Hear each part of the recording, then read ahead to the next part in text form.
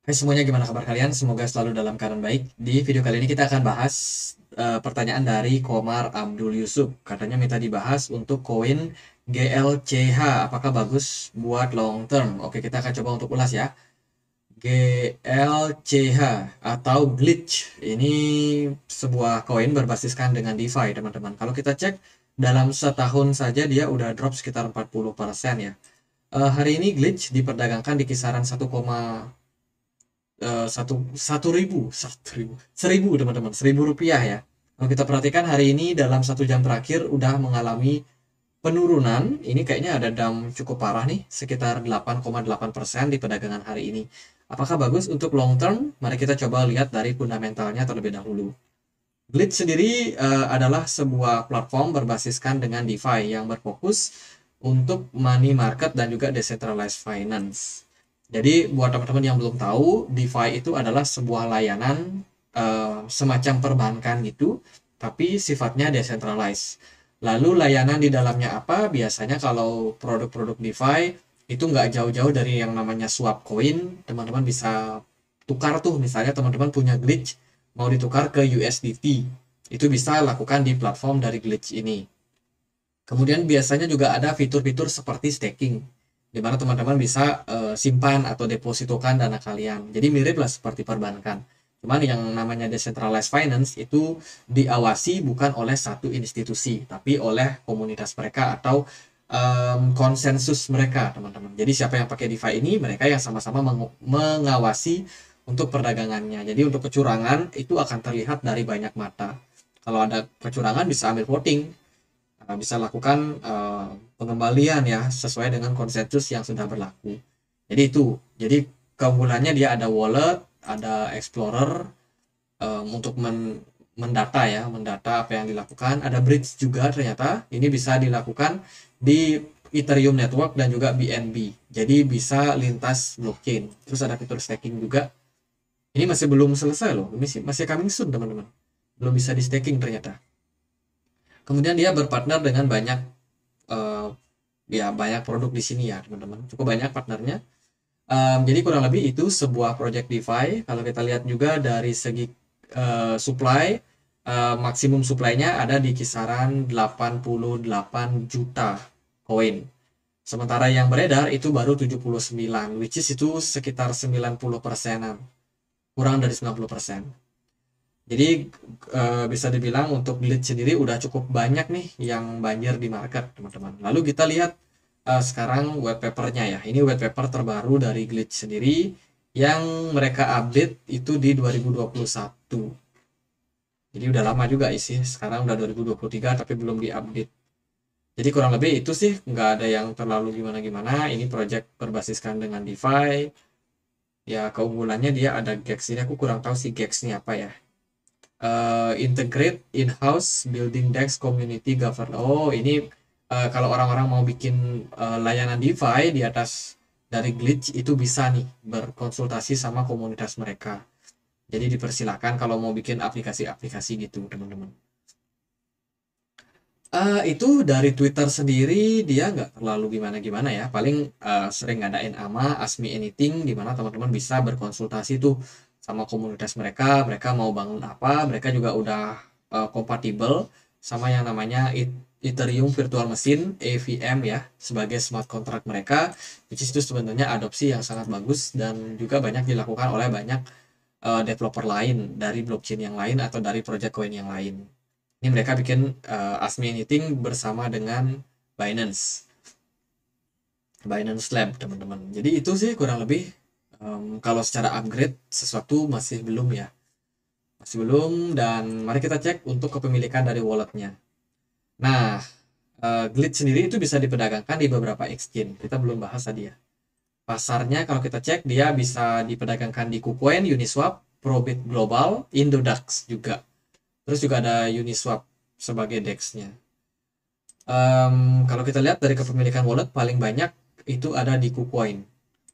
Coba kita cek apakah um, retail pada akumulasi. Nah, kalau kita perhatikan dari sini terjadi penurunan dari kepemilikan balance per 19 April lalu terus turun sampai hari ini, teman-teman. Oh, ini datanya 2022 ya.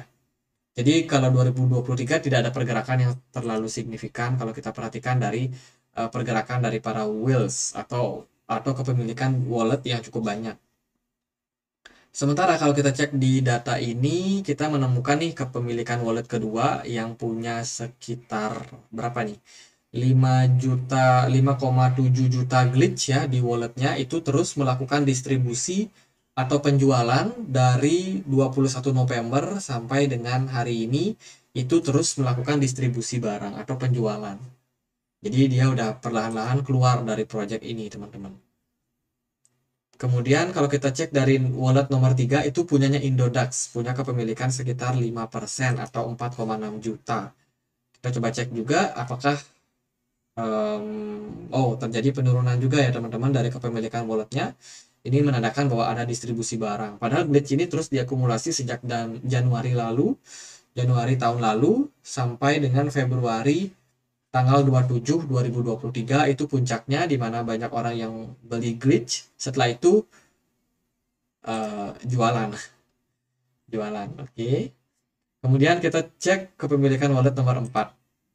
Dia punya sekitar 4 juta sekian poin ya, eh, 3 juta teman-teman, 3,4 juta.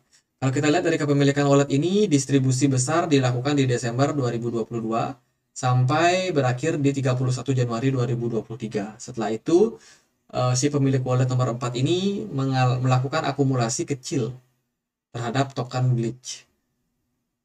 Nah, satu lagi nih yang menjadi awareness buat teman-teman. SEC serta Department of Justice ya DOJ ya teman-teman itu sedang gencar-gencarnya membangun um, regulasi soal DeFi. Jadi DeFi ini kan bisa dibilang ada ada beberapa kelemahan seperti sering dihack dan sialnya kalau dihack itu dana nggak bisa kembali rata-rata pada hilang. Mungkin ada beberapa yang hackingnya cukup baik mau mengembalikan teman-teman. Jadi rencananya mau dibikin regulasi. Tujuannya buat apa ya? Mengamankan dana investor. Kemudian SEC juga kurang lebih sama. Jadi ini bisa dibilang menjadi sesuatu isu yang cukup negatif buat platform DeFi. Tidak cuma glitch, tapi juga platform DeFi yang lain. Seperti contohnya Aave, Uniswap, PancakeSwap, dan kawan-kawan yang lain. Lalu gimana untuk pergerakan chartnya? Kita tadi sudah cek ya bahwa ada distribusi yang cukup besar kalau kita lihat dari kepemilikan wallet nomor 3 kalau nggak salah.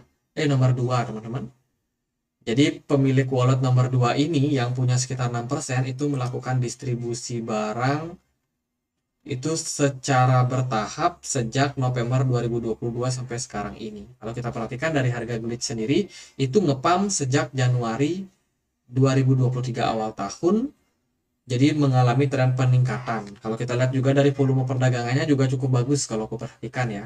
Disertai dengan smart money yang juga cukup banyak di market. Jadi kenaikan yang terjadi sebelumnya pada glitch itu merupakan sentimen yang cukup positif. Jadi sudah terjadi kenaikan sekitar 360 persenan. Cuman sekarang posisinya glitch ini seperti kayak kehilangan kontrol terhadap penurunan seller. Seller cukup dominan, cukup agresif dalam hal melakukan penjualan koin. Kalau kita perhatikan dalam beberapa hari, glitch ini sepertinya kehilangan smart money-nya. Volumenya masih tinggi, Cuman yang mendominasi para retail. Asumsi saya adalah Will sudah banyak taking profit di sini, di kisaran harga-harga ini, teman-teman. Jadi Blitz sendiri di taking profit, mungkin itu Wills-nya yang nomor 2 ya. Ini dia jualan terus. Soalnya sama yang nomor 4 kalau kita cek tadi, dia juga punya kepemilikan yang cukup banyak. Cuman dia terus diam-diam melakukan akumulasi dalam beberapa waktu. Jadi kan ini dia distribusi nih dari Desember dibuat drop sampai 31 Januari. Jadi sebulan dia punya waktu buat bikin market turun. Padahal waktu itu ya posisi dari glitch itu lagi naik-naiknya ya. Jadi udah distribusi barang waktu itu.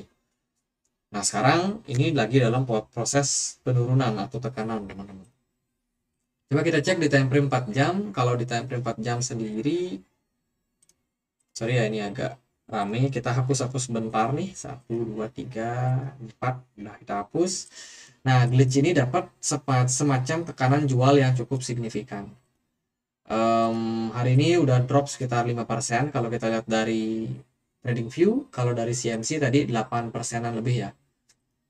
Nah ini tekanan jual benar-benar terlihat teman-teman. Disertai dengan volume yang besar tapi smart money-nya kosong. Artinya apa? Artinya adalah sedikit orang yang menahan pergerakan dari glitch untuk turun. Jadi bisa dibilang sekarang adalah momen-momen di mana uh, whales itu lepas tangan dulu nih lepas tangan dulu dibiarin dulu harganya turun entah sampai level mana Paling target yang bisa kita perhatikan adalah di level support kisaran 0,05 dolar.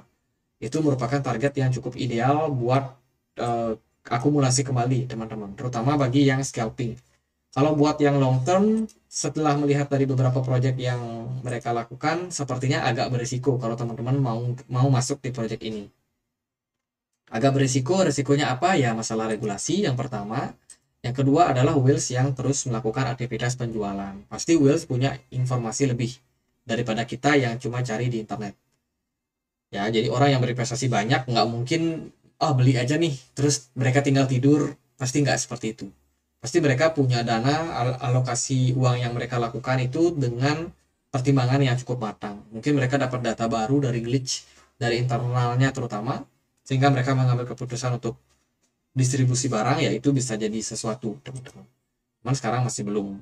Uh, serta proyek ini udah ber, berjalan cukup panjang ya tapi sepertinya peningkatan yang terjadi juga masih kebanyakan coming soon teman-teman. Masih belum selesai. Jadi ada sesuatu yang sepertinya kayak ketunda gitu ya terhadap proyeknya. Nah ini sudah um, sedikit ketahan tapi menurut saya masih belum aman ya buat glitch buat sekarang saya rasa sih penurunan masih bisa terjadi. Jadi lebih hati-hati aja kalau teman-teman mau masuk pastikan teman-teman masuk dengan dana dingin. Alokasi dana yang bisa kalian lakukan tentunya adalah ya berapa uang yang teman-teman rela untuk ya untuk teman-teman invest. Kalau sesuatu tidak berjalan dengan sesuai yang kalian harapkan kalian juga masih tetap bisa bertahan hidup. Jadi itu sih paling penting uang dingin jangan pakai uang panas jangan pakai utang pinjol apalagi jadi sekarang posisinya lagi tertekan teman-teman. Memang kalau kita lihat dari riwayatnya kebiasaannya glitch ini dia suka naik kalau ada volume smart money yang cukup tinggi kayak di sini ya, kayak 2021 dia naik lumayan signifikan. Setelah smart money-nya kosong, ya harganya kembali terkapar, kembali turun dalam fase downtrend.